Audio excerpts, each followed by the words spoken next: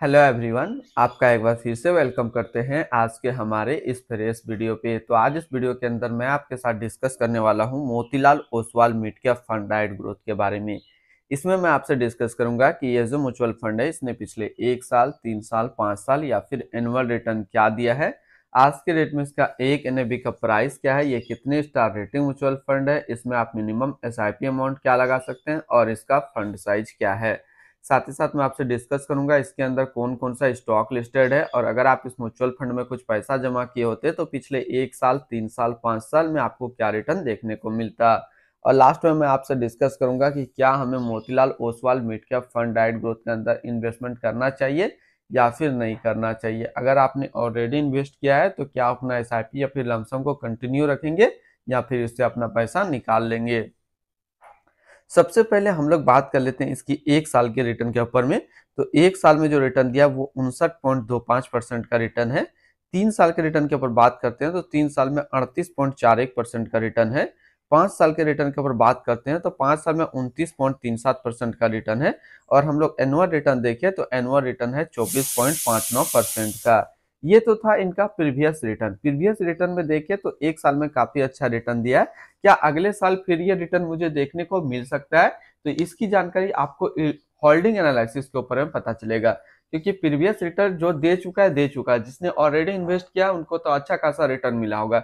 लेकिन यदि कोई फ्रेश बाय करना चाहते हैं तो रिटर्न क्या मिलेगा? तो समझना होगा इसको होल्डिंग एनालिसिस में। तो चलिए हम लोग नेक्स्ट टॉपिक इसके ऊपर बात करते हैं।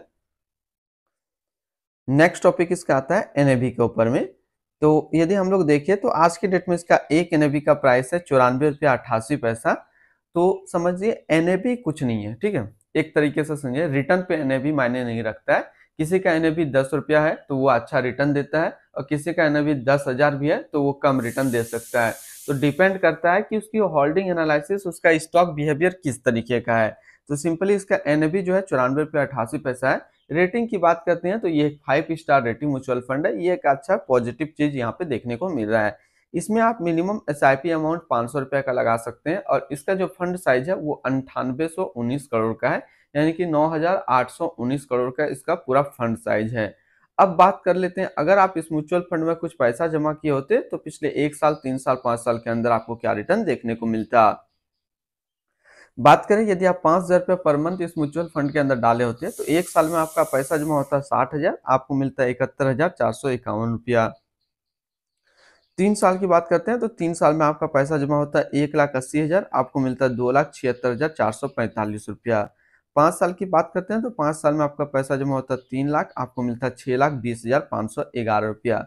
वहीं पर बात करते हैं, अगर आप इस म्यूचुअल फंड के अंदर एक बार में एक लाख रुपया डाले होते तो एक साल में आपका एक लाख रुपया एक लाख उनसाठ हज़ार दो सौ पचास रुपया होता है।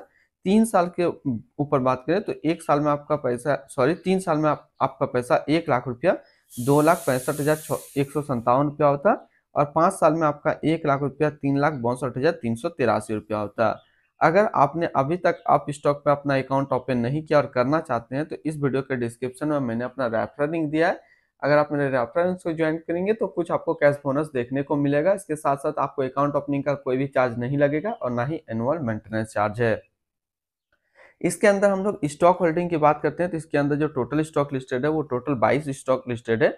अगर हम इसमें टॉप टेन और उसके सेक्टर वाइज डिस्कस करते हैं तो पहला नाम आता है Jio financial service limited financial क्षेत्र, Kalyan jewellers India limited consumer discretionary Vodafone Idea limited communication tube investment of India limited automobile persistent system limited technology Indus tower limited communication Coforge limited technology Prestige estate projects limited construction Zomato limited service Max health care institute limited health care के क्षेत्र में है।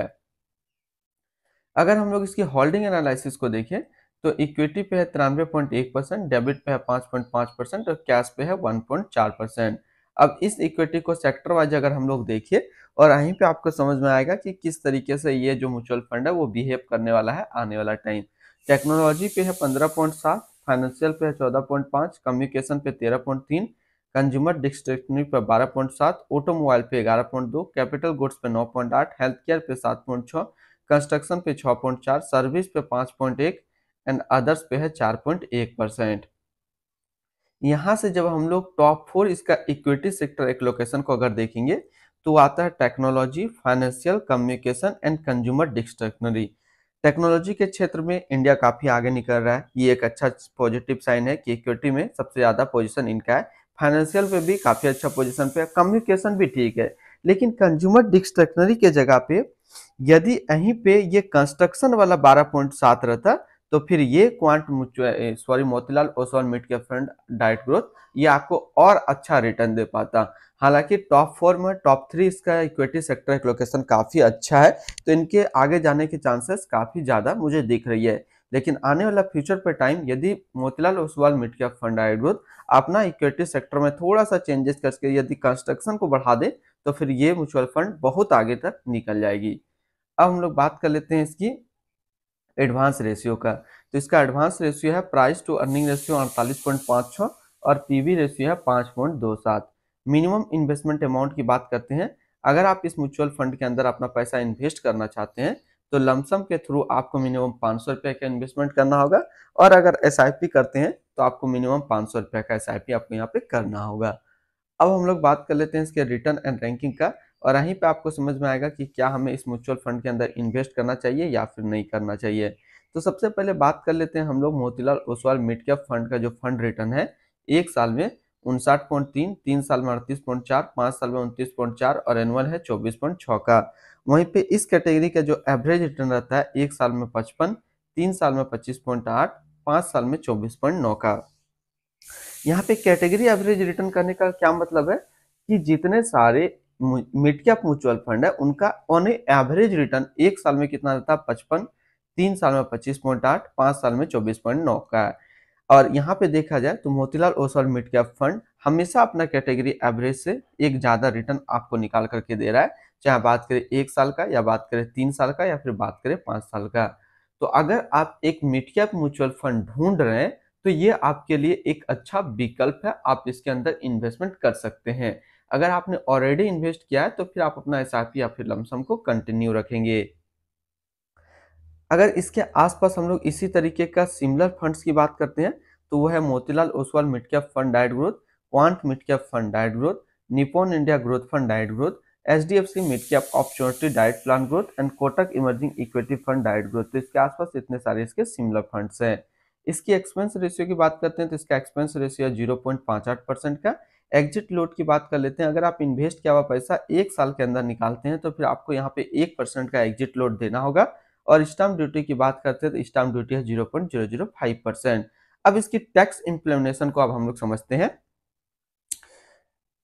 यहाँ पे simply एक चीज़ समझना है tax implement return are taxed at fifty percent if you redeem before one year यदि आप इन्वेस्ट किया हुआ पैसा एक साल के अंदर निकाल लेते हैं तो फिर आपको पंद्रह परसेंट का यहाँ पे टैक्स देना होगा।